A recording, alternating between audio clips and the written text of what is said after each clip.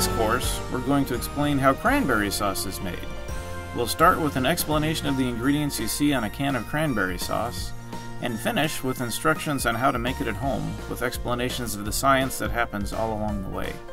Cranberry sauce is one of my favorite foods, especially when made fresh at home. Get ready for some fun. You're about to get a tasty serving of edible knowledge.